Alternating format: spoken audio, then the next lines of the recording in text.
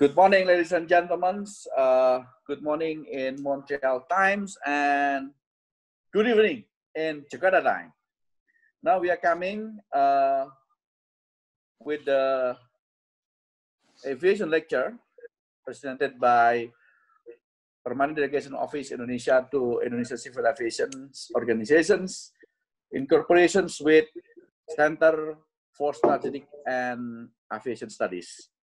Uh, today, we are going to have uh, topics of the discussions about international civil aviation organizations, the profile.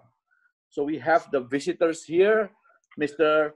Petrus van der West, uh, Westhuizen, Petrus van der Westhuizen, or we can call just Mr. Petrus, uh, Mr. Vic. Is it Mr. Vic? Hello, Mr. Vic. Good morning, Mustafa. A bit center so we can see your full face. Uh, yeah, okay, that's good. So, Mr. Vic, uh, today he is working with us as a senior advisor in Permanent Delegation Office of Republic of Indonesia to the ICAO. Uh, Mr. Vic has very long list of the record of provisional uh, employments. Uh, used to be like air traffic control, professional air traffic controls, professional pilots, and a lot of project with the aviation thing, with the IATA, and of, of course with the ICAO. And now we, uh, is Mr. Vic. So, Mr. Vic, we have today uh, 20 minutes time with 15 minutes of your time for presentations and five minutes for question and answer. And to make uh, everything short, I give your time for you to have your presentations. Time is yours, Mr. Vic. Morning, Mr. Moderator. Thank you. Good morning, ladies and gentlemen. We can ask uh, Daddy if we could start with the first slide, then we can start with the presentation.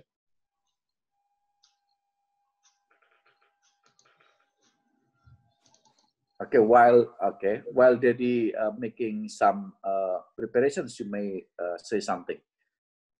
Thank you very much. You will find that while I'm, I'm going through the presentation, uh, these slides are very busy, but I've done a lot of detail in it, and you can then afterwards, should you wish, use it as a record purposes of what ICAO does, how they do the work, and why they do the work.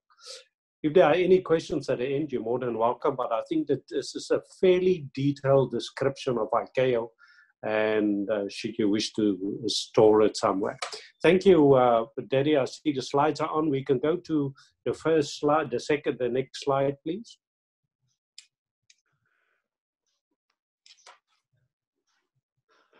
While we're waiting for the next slide to come up, you will find that I'm going to talk about, I'm going to discuss ICAO from the top down, show you a little bit of the departments that I have in ICAO, what work they are doing.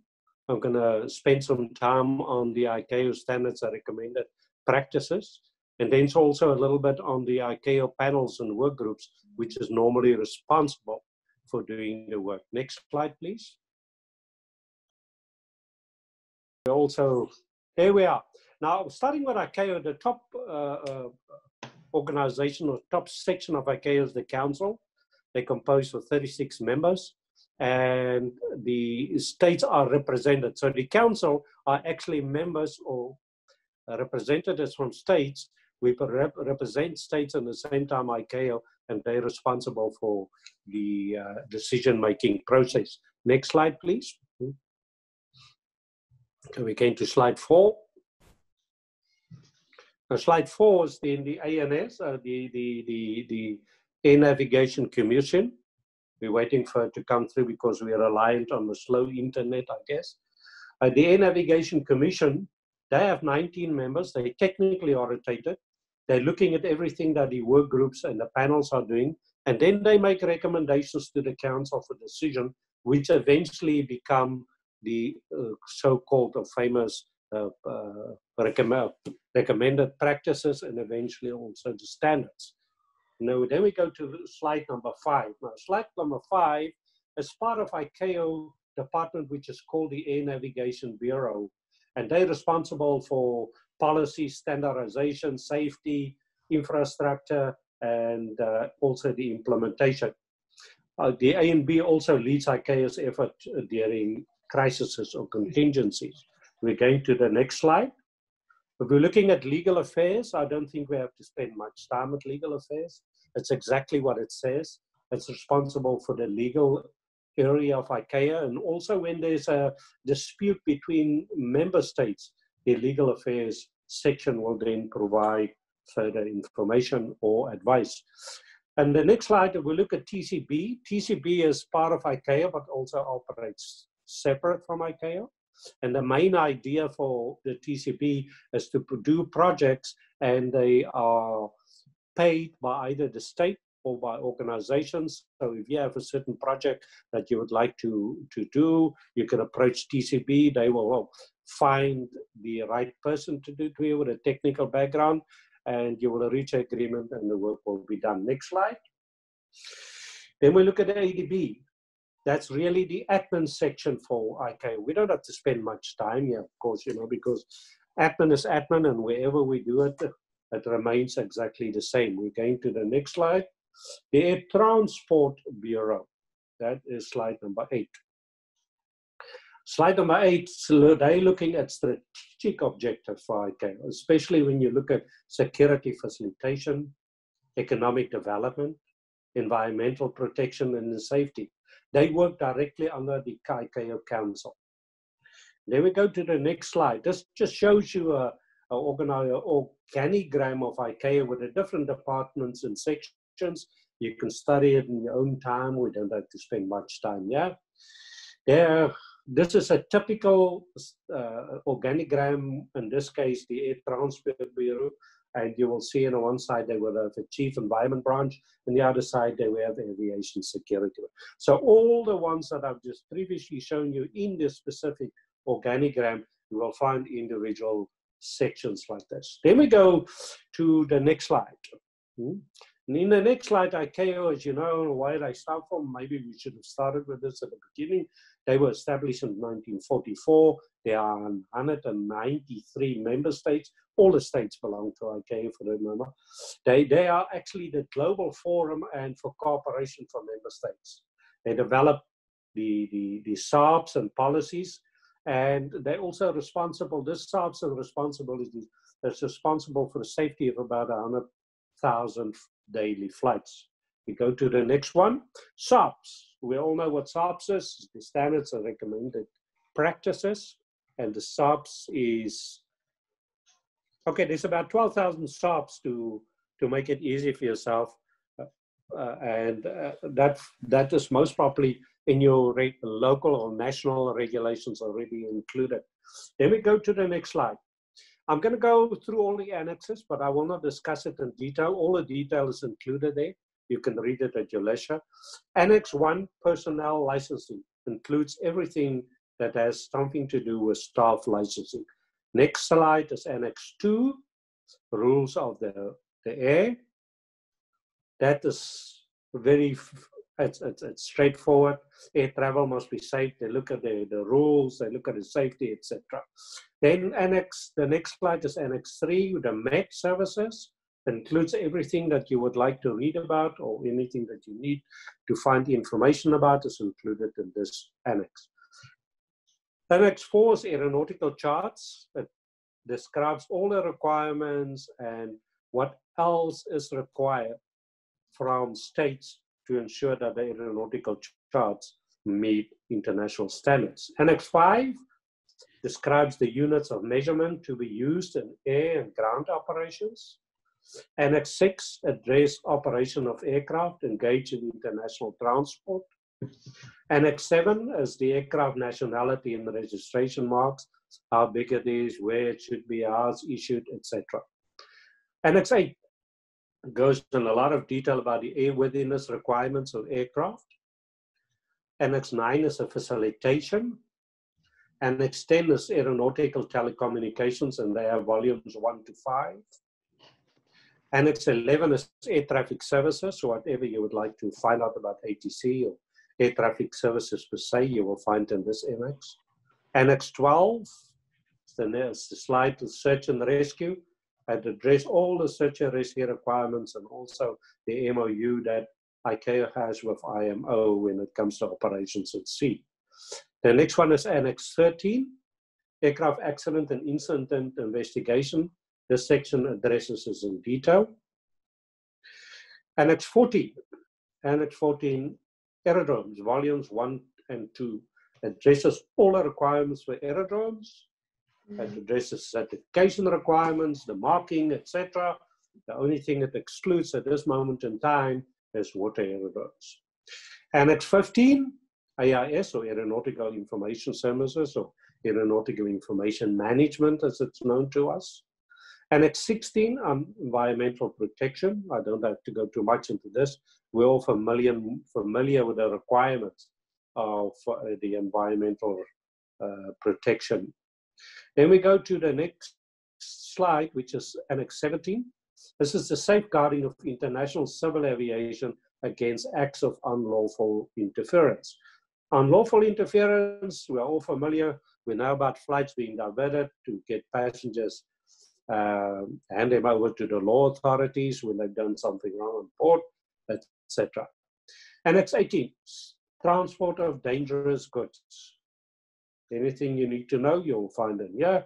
Annex 19 addresses safety management and addresses everything in aviation as far as safety is concerned. I'm just going to run very quickly through the ICAO panels without going into detail. The Air Navigation Commission, the ANC, decides on the panels which one to establish and what their work requirement is. The first one is the Aerodrome Design and Operations panel.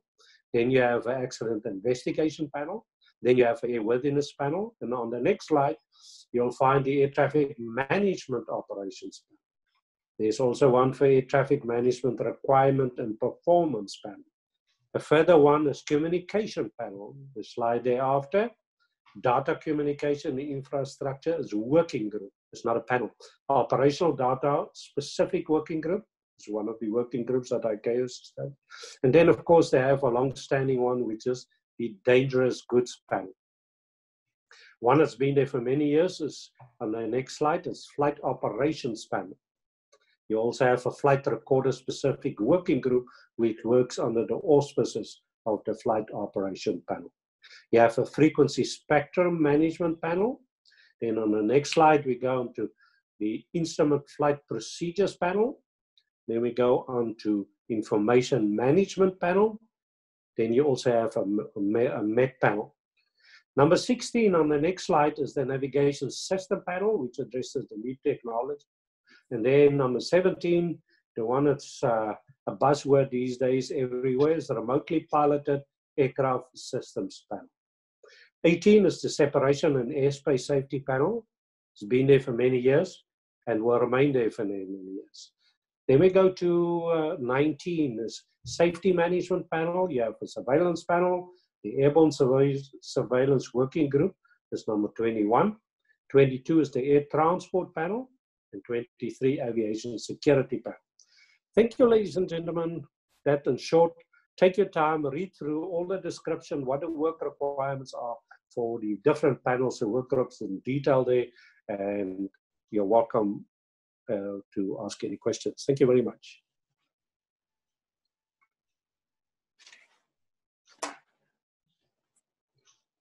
How much time did I use?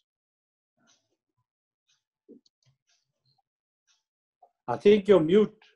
Uh, please unmute, unmute Pak There, got you. Okay, uh, we have some uh, questions that address to you, Mr. Vic. Uh, the first is from uh, Pak Sukahir from Surabaya. So we have the questions. Uh, the, the, the question is, since uh, Indonesia is the member of the ICAO since 1953, so what's the advantage of beneficial of Indonesia to be the member?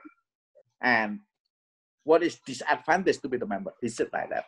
This is the first question of you. Please, uh, I give you like two, three minutes to give some, some explanation. I think all international standards, thank you first of all for the question, but all international standards are developed by ICAO. And to standardize aviation and navigation throughout the world is a big requirement. You do not want to fly from one country with different rules into the next country. And this is where ICAO makes respons- is responsible for making sure that the standard from one country to another, whether it's in the airspace, whether it's in the aircraft, whether it's on the ground and in the airport, are the same. So from that point of view, there's a big benefit just from a safety point of view to be a member of ICAO. Thank you. Okay, thank you, Mr. Vic. Second questions uh, from Jayapura, from Papua, uh, from Mr. Salim. Uh, the question is, uh, what is the impact if one single state member of the ICAO do not follow the standard and recommended practices? But to answer your question, it creates a major problem for that specific state because they follow their own rules that will have, first of all, impact on international flights. Number two, also create a problem for their flights flying internationally because there will be two different sets of regulations and standards. Number three, ICAO will address the same with the IATA. They, they will address this on a very high level with that state to ensure that that state becomes a member and follow the same requirements globally. Okay, thank you, Mr. Vic. Uh, the third question from Jakarta. So I have to try to make some uh, translation to English. Uh, the question is uh, from Mr. Rudy from Jakarta. Uh, the question is, um, what is the explanations of the ICAO policy, no country left behind? I ICAO started it off, especially with a 52 small islands group. And the reason for that was not many states have the same uh, investment from an airspace or airline point of view with a flights operating into and out of their country. So they do not have financial resources as bigger countries has to support the development and requirements. Because of that, ICAO has decided that regardless of the financial resources, they will make sure that no country will be left behind and they will always support these countries and find a way to support them if there's no financial support. So, okay. Uh, one last questions for, for this session, Mr. Vic. Uh, so this the questions from Mr. Boy from Jakarta again. The question is, uh, I'm trying to make some uh, translation to English. So since in the latest situations regarding to the pandemic COVID of 19, what is the important role that ICAO play to save uh, humankind, to save people from this uh, disaster? So this is the last uh, explanation, I, th- I think, at the last question, I think, for the session. Please. Thank you. I think ICAO medical section, they have a specific area which address all international medical requirements. Now, first of all, they went out, they're working with international organizations like IATA and the airports to set a standard of people that operate in and out to, of airports at a specific time. They're also busy with the Council Aviation Recovery Team, which are planning or they're busy developing a plan for states, a standard plan for states to to get the civil aviation in their country going again and meeting one standard. We all know it's going to be very difficult, and we can't just push the button and everything is back to what it should be. So everybody, all the countries will have to have an aviation rec- uh, recovery team working very closely on the one side with the medical section and then the other side with the normal aviation development and at the same time also with IATA and the airports which will have to work as a team to get aviation back on board. Okay, thank you, Mr. Vic. Uh, we are very appreciate for all of your presentations and your sharing informations and your expertise uh, regarding to the ICAO. I hope it's going to be like giving us some beneficial. Thank you again.